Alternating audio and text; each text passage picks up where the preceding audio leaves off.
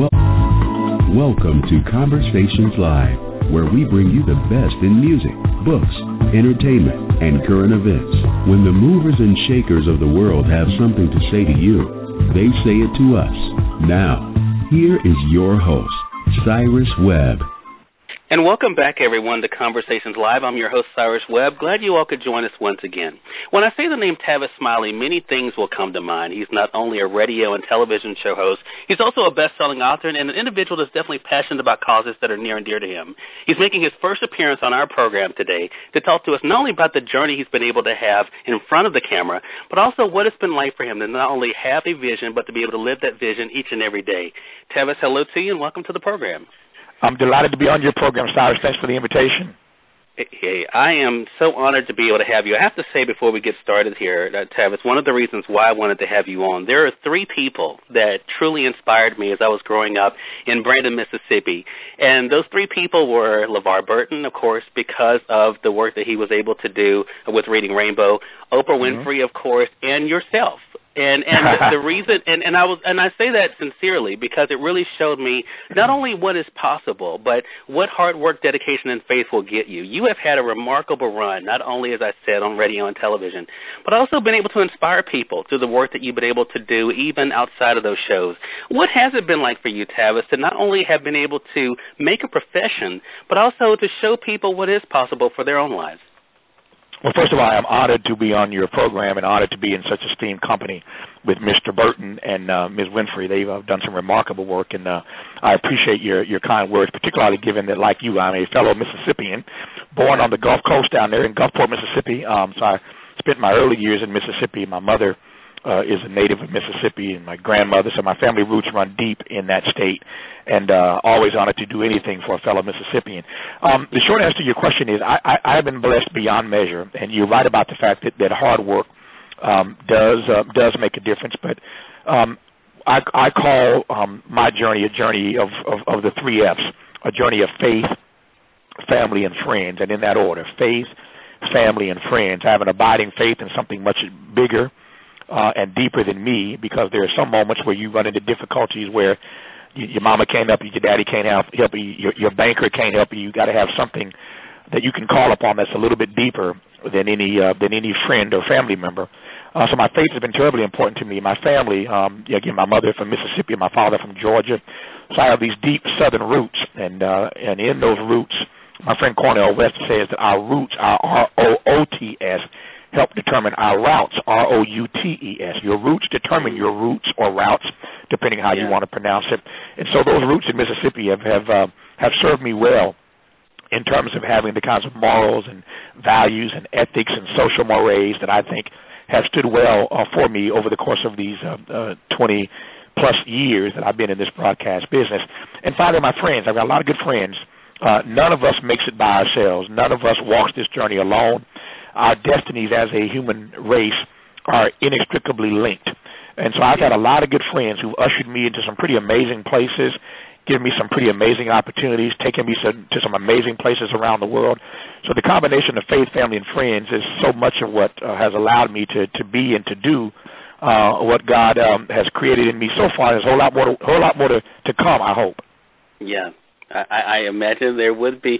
Tavis, you know, and you mentioned, of course, the places you've been able to go. And let's just talk about the people you've been able to converse with. I mean, as I have been and listened to your program and a viewer of your program over the years, to be able to see these, these movers and shakers literally from every corner of the globe, to be able to speak with them, to really be able to have this dialogue with them, and to, and to get to some real answers to questions, you know, that in itself, I think, you know, is a remarkable feat. Do you think part of the reason, though, you have been able to to really connect. And that's the thing. I mean, you think about the success you've had, especially on television. You know, in the, in the history, you know, of television, being able to have the program that you've been able to have. Do you think the reason why so many connect with you is because you are so much like them? You're like us that you truly want to get the answers to the questions that matter. I guess I think it's a very astute analysis, and I thank you for the compliment that was hidden in there. Um, my, my, the, the, the short and simple answer is this, um, and you obviously are, are very good at this yourself. I tell young people all the time when I'm talking to them about about the media and about broadcast and journalism that what matters most is being a generous listener. It really doesn't matter how talented you are, how how well you've done your research, how good you look on camera, how good your voice sounds on radio. What matters most is whether or not you are prepared to be a generous listener. I always make a distinction between an interview, Cyrus, and a conversation. An interview is, you know, your producers give you a blue card, uh, and on the blue card are 10 questions that you need to ask in the time that you have with the guest, and you run down your blue card of the 10 list the, the 10 questions your producers have given you or the 10 questions you've written yourself. But you've got 10 questions. You're going to ask those 10 questions in order, no matter what the person says. All you try to do is to get your questions out and get their answers in. That's an interview. And that's not the way to conduct um, a conversation. A conversation is more dynamic, it's more organic, it's more authentic. In a conversation, the host really isn't leading the conversation you're really following the conversation. So all you really need to do is to start the conversation out with one good question. And if you listen to the answers that the guest is giving you, the guest will give you the route. Based upon their answers, you will know what a good follow up question is. Based upon what they tell you, you'll say, Wow, I didn't know that. Let me ask you about that based upon their answer, you will know what the next question will be. But you'll never know that if you're just looking at your list of questions on your blue card and you're not being a generous listener. So conversations are not about so much, you know, you pressing your points, but rather you listening generously to what the guest has to say. So that's a long way of saying that the experience that most, the experience that all the guests on my radio and television programs have is that of sitting next to a person who has done his research, who has a little bit of a, a little bit of intelligence, who's good at what he does because I've worked at it, but most importantly wants to put them in their sweet spot. I want them to have a good experience. And the way for them to have a good experience is for me to listen, listen, listen generously to what they're telling me. And if I listen to what's coming out of their mouth, which is coming from their heart, which is coming from their head, if I listen to all that, I will know where to take the conversation. And then when the conversation's over, this person has ended up saying stuff they didn't expect to say, telling stories they didn't expect to share, revealing secrets they didn't really want to put out there. Because if you listen to their heart, you would know where to take the conversation. But all of that happens with a generous listening. If you're going to be in this business and you're not prepared to be a generous listener, if all you want to do is talk because you are a talk show host and you're not prepared to listen and you're not a curious person, then what's the point of being in the business in the first place? Oh wow, that that is great advice. I think for so many different professions, Darius. But I, I I totally receive that. That is so true. You mentioned a word in there, authenticity, and I think that mm-hmm. again is why you're able to connect even outside of the the radio and television. I mean, I mentioned some of the other things that you're able to do. I mean, I see you on on other news shows. You're able to you know to to be there to be able to give informed information. You're also mm-hmm. to be an advocate for causes that matter to you. You mentioned Dr. West. You know, being able to be with him, talking about issues that matter with you, and that that again, I think is part of that connection and and such an influence that you've been able to have. Did you always believe that was possible? Because I think that's the thing for so many people. Mm. You know as you mentioned, uh, us both being from Mississippi, people sometimes look at wherever they're from or wherever their their parents or grandparents may have done and think those things just aren't possible. Did you always believe that if you stayed with your faith, that you that if you stayed true to that, that these things will be possible for you? Powerful question, and I don't mean to proselytize, but since you raised it, I believe uh, that biblical edict that with God all things are possible. So I've never believed that anything for me was really impossible. I, I believe I've had to work hard and have some good fortune and have some good, you know, have a deep faith and some good, good friends and a strong family supporting me.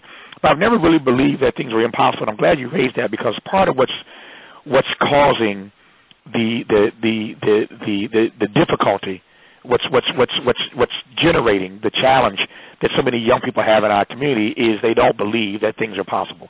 There is, put another way, there's so much hopelessness uh, in our community, and that's one of the things that we're up against more than anything else. It's just this rampant hopelessness in our community and in our society, and the fear that is palpable in people because they're afraid that the best days of this country are behind it as opposed to in front of it. And people who are stuck in poverty and stuck in in disenfranchised situations politically, economically, or culturally just don't see a way out my friend Suze Orman says there's a highway into poverty, but not even a sidewalk out. So once you get in, people just don't think there's ever a chance that they're going to have a life of any real meaning, purpose, or value. So I've never really believed that things were were, were impossible, but I, I've always believed uh, that it required me using the gift and skill and talent that God gave me. Here's what I believe: that every one of us has been blessed with a gift for the gift that you have been given, there is a purpose. There's no reason for the Creator to have endowed you with these gifts if there was no need for the gift. Whatever gift you have, somebody needs somebody is out there who's preparing to be benefited by that gift. So we've all been given gifts, and there's a corresponding need for the gift. When your gift connects with its need, now you're living a life of purpose and a life of value. So the first question is to figure out what is the gift I've been given? What is my talent? What have I been blessed with as as as as as as an offering to other people? What is it that what is it that I can do better than anybody else I know? None of us comes into the world without being given gifts and talents.